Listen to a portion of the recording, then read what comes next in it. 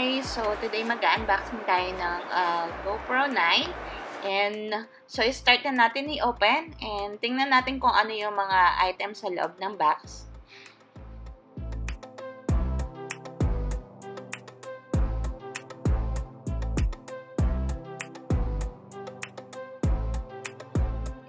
So, guys, this is the case. And, black color siya. And, it looks like a mini case. Very cute. So, i-open na natin and check natin kung ano yung mga items uh, sa loob.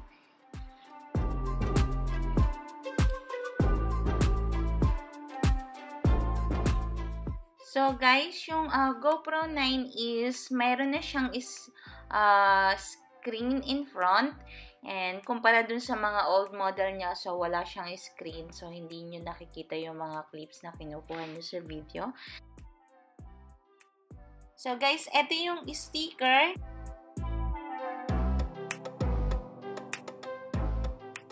May meron din siyang manual. So, ito yung USB cable na pwede natin gamitin pang charge.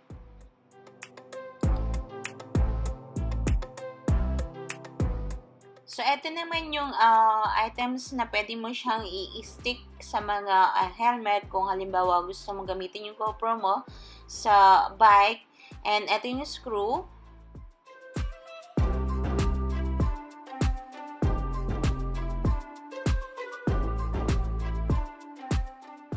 And ito yung battery. So, mas, mas malaki yung battery ng uh, GoPro 9 kumpara dun sa mga uh, previous model niya.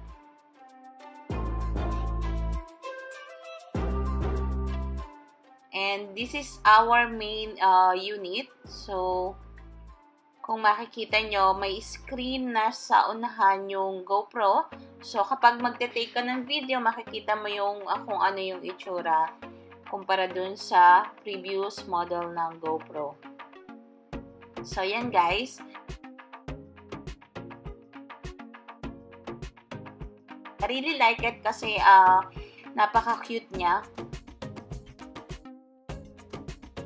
And maganda tong pang uh, vlog or lalo-lalo na kapag uh, mag-underwater kayo. So, I think uh, very useful yung GoPro, guys. So, guys, yung uh, maganda dito sa GoPro 9 is yung cover ng lens, pwede mo siyang i-replace unlike before. So, halimbawa, nabasag or na-scratch mo yung pinaka-cover ng lens, pwede yung replace, guys. So, isa yan sa improvement ng GoPro 9. So, yun, kaya uh, maganda siya guys. And,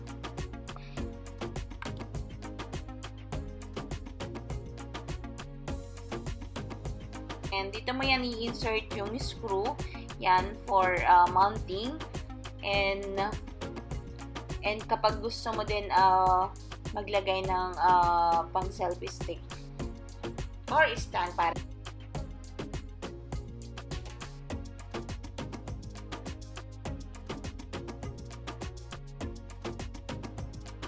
So guys, i-insert na natin yung memory card.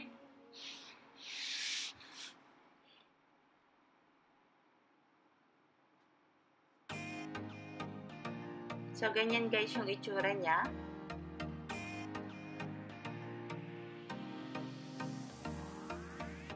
And ilagay na din natin yung battery.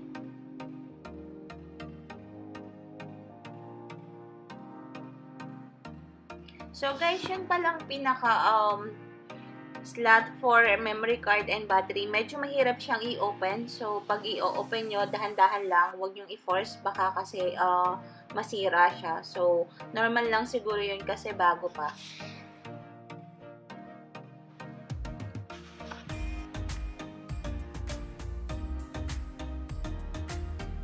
So, yung, uh, guys, yung uh, instructions, so, pwede nyo naman basahin para may guideline kayo kung uh, paano nyo uh, o-operate for the first time yung uh, GoPro nyo.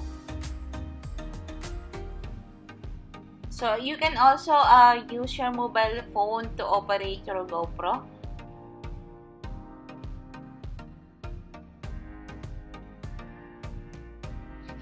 So, guys, uh, search nyo lang yung GoPro sa Apple Store or sa Google Play and makikita nyo yung quick video editor. So, download it and you can access your camera and you can also finish your setup using your mobile phone.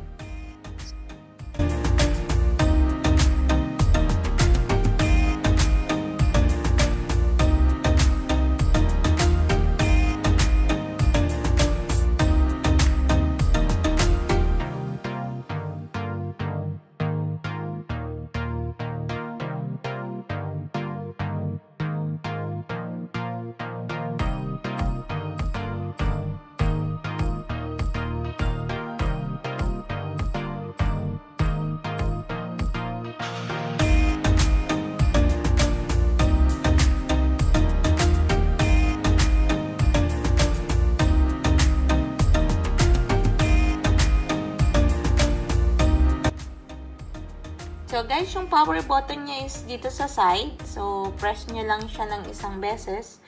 So, magto-turn on na yan. And, yung recording is dito sa taas. So, you can also press this. Kung gusto nyo mag-record ng video or kung gusto nyo mag-click ng picture. So, kung gusto nyo makita yung setup, so drop down. So, yan, may mga option dyan. Voice command, kung gusto nyo i-silent. And then, kung ano yung pag gusto nyo open yung camera. And, ito yung mga option. So, you can click nyo lang yan, guys. And dito. So, ayan yung mga options. Scroll up nyo lang. Ano yung gusto nyo set up sa camera nyo. So, dyan lang, guys. And, let's say, yung resolution niya. So, yan. So, dito nyo lang i-change, guys. Kung gusto nyo mag-record, then, press nyo lang tong taas. Yan, guys. And,